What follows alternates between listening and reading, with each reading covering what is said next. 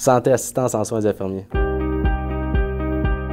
ce qui est santé, qu'est-ce qui est le corps humain, ça m'a tout le temps intéressé. J'aime travailler avec les gens, aider les gens, travail d'équipe. C'est un programme qui rassemble toutes ces compétences-là. On fait surtout une année de théorie, puis la deuxième année, c'est surtout des stages, là, comment que ça se passe sur le terrain. On voit vraiment tous les systèmes, on voit vraiment comment que ça fonctionne, puis c'est comme ça qu'après ça, on peut savoir appliquer nos soins. Différentes techniques, que ce soit donner de la médication, les prises de sang, installer des solutés. On a vu le système urinaire, après ça, on voit comment installer une sonde. Fait qu'on sait comme pourquoi qu'on installe la sonde. Sur le marché, je vais devenir un infirmier auxiliaire. On n'a pas le droit d'administrer la médication par intraveineuse.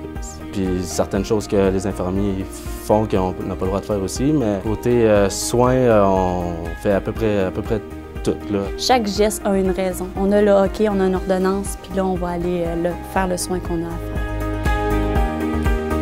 Il faut aimer travailler en équipe. Faut avoir beaucoup d'initiatives. Il faut être quand même capable de se mettre à la place des patients. On travaille plus que la moitié de notre vie. Moi, je trouve que la plus belle chose, c'est de pouvoir aider les autres. Être capable de travailler n'importe où, ce qui va avoir de la job, n'importe quel hôpital, CLSC, aide à domicile. Moi, comment j'aimerais être soignée, puis comment mes parents aimeraient soigner, je pense que c'est comme ça que je veux soigner quelqu'un.